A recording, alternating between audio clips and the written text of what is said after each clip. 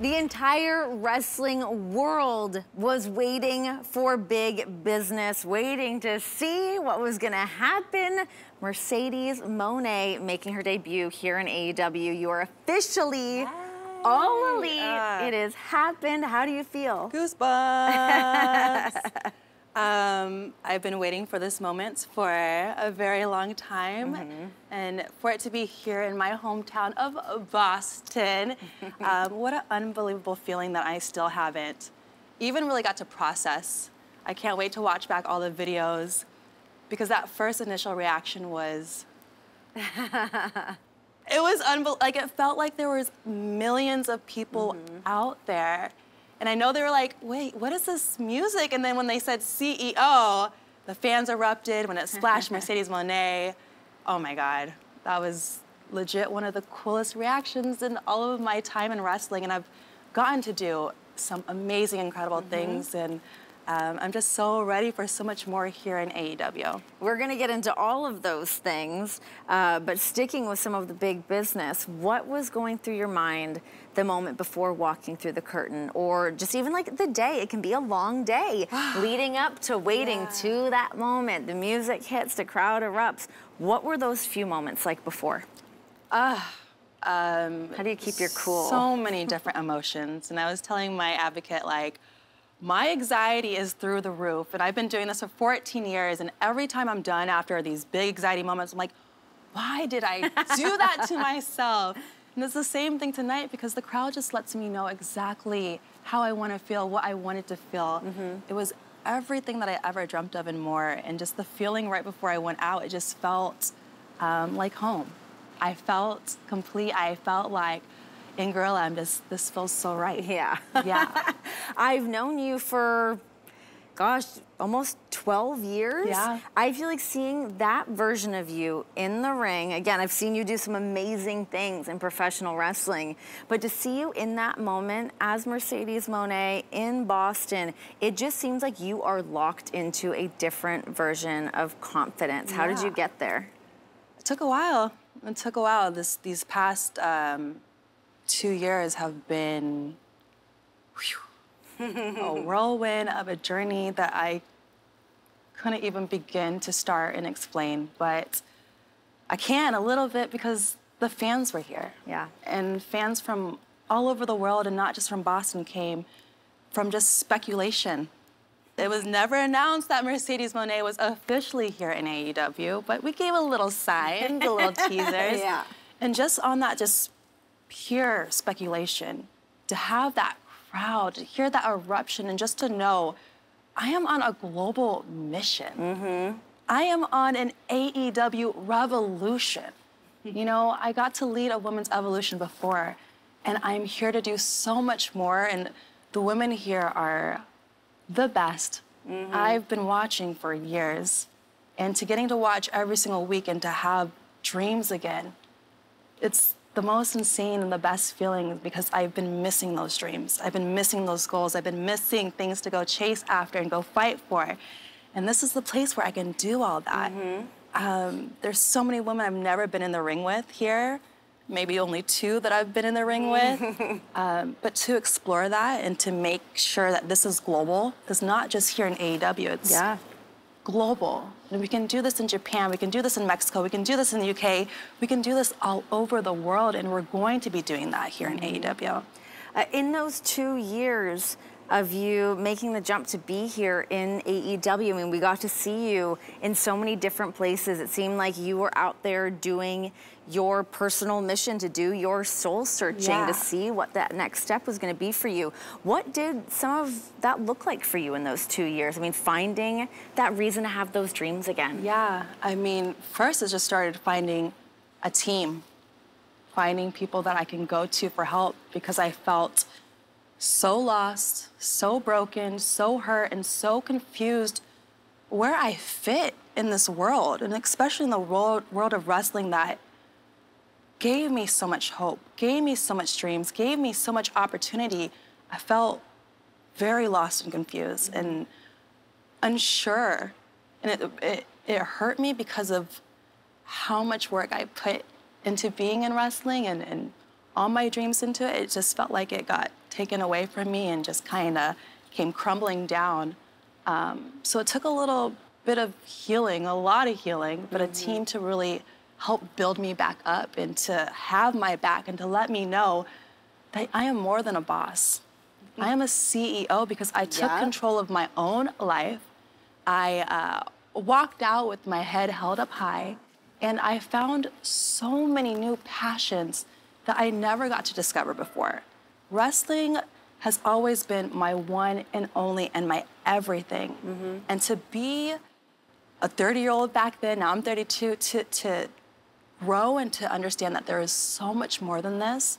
Wrestling is so much more. It's mm-hmm. so beautiful. Yeah. It's more than just in the ring. To be able to discover a new love, new foundation, just new everything, it felt so freeing.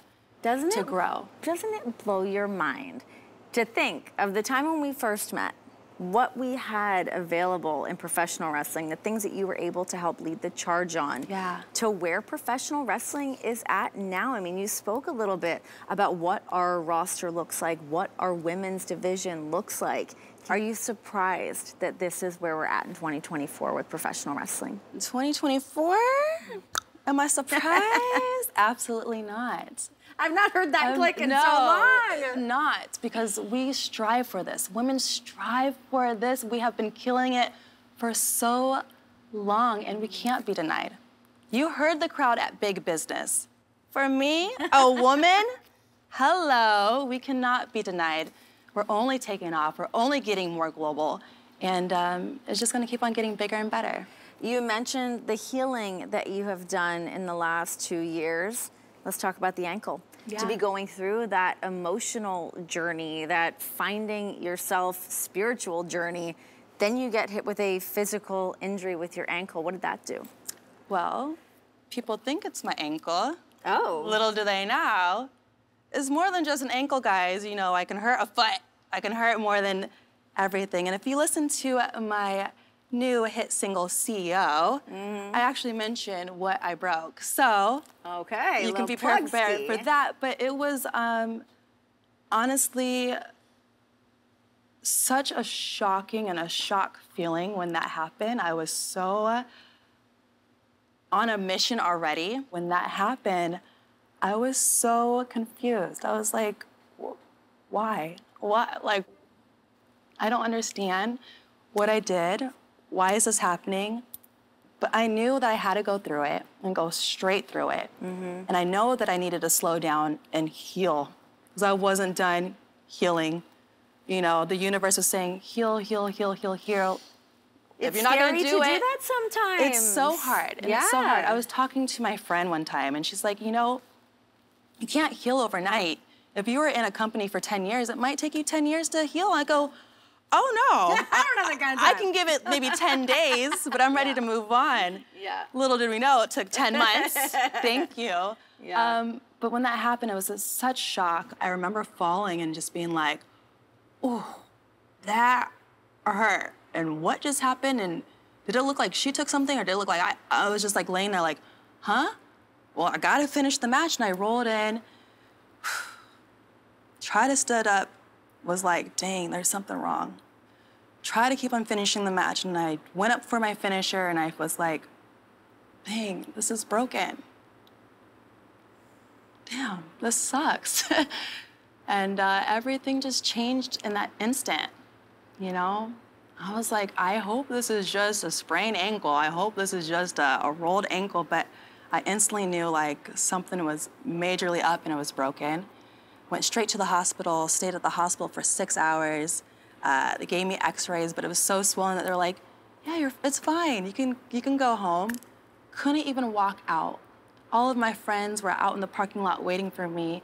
They wheeled me to an Uber. My friend had to carry me from the Uber to the hotel, push me in a, in a, a chair just so I can go to the bathroom, buy their, my own crutches to go to the airport and get so many different opinions because I'm just like, this doesn't feel right. Mm-hmm. You know your own body. I finally got the call that it was broken and that I would need surgery, and uh, I really thought like this was over. And it sucked because I didn't know how long I was going to be out and how long I was going to be gone from something that has been my whole life. Mm-hmm. I don't know anything but wrestling because it's been my whole life that I've given everything for it. So when I finally had my surgery and I came out of it, and the surgeon was like, I just have to tell you, and I hate to say this, but this is career ending. Oh my God. And instantly I was like, no, it's not. It's not going to be. It's not. I was ready to recover the second I got hurt. My mind was already in a place of healing that I knew that nothing can stop me from coming back to wrestling. Mm-hmm. I didn't know when, I didn't know where, I didn't know even how. I just knew in my heart that I was going to be back. And then 10 months later, I am here in Boston with all of my friends and family and people from all over the globe, all over the world, came here tonight, mm-hmm. came to big business to celebrate this. Mm-hmm. This that I got to create, all this magic that I got to make, they came to celebrate with me. And it was the most special feeling in the whole world and knock on wood, I never want to get hurt again. But to go through that experience, I am just so beyond thankful. It taught me so much. It taught me how to be strong. It taught me that I can even believe in my heart and my mind even that much more. It taught me everything that I needed to know. I went from a boss and I went to a CEO. I still put the boss in Boston, of course. Obvious. But to level up and to just really grow and to figure out that mission, that goal, and that hunger that I've been missing for so long um, at big business. It just reminded me why I fight so hard for wrestling and for women's wrestling. It's, it's the best feeling in the whole world. It's so amazing to see that all happen and to see all of the work that you've done and to take the time and to bet on yourself and bust your ass and be here and get that moment, get that reaction, uh, and now to, to start making moves in this new direction. Not any type of move, some money moves. Some money big moves. money moves. so the CEO of AEW, yes. what's your first business move? I mean, there's so much in order. I've got to meet so many people at big business, so I don't know. I'm about to go to Toronto, just you know, keep on scouting out this women's division. Mm-hmm. Um, you know, me and Willow have some unfinished business. She was my last opponent before I got hurt. And I haven't really even got to see that footage, so I don't even know if it was her that pushed me, if I slipped, if somebody paid off the ref. I mean, it was just was such a crazy, hectic day. And it was for the New Japan Strong Women's Championship. Yeah. I don't know Willow. I don't know if she's dirty. I don't know how bad she wants things. And I've been around a business where people will scratch and claw and stab in your back but so far, we got to do a little chatting backstage, and she seems nice. Mm-hmm. She's yeah. cute. Um, but yeah, I like to pick up some more big business with her again. My girl, I love it. Mercedes, so glad to see you. So happy that you're here. Thank you. Big business, baby. Let's go.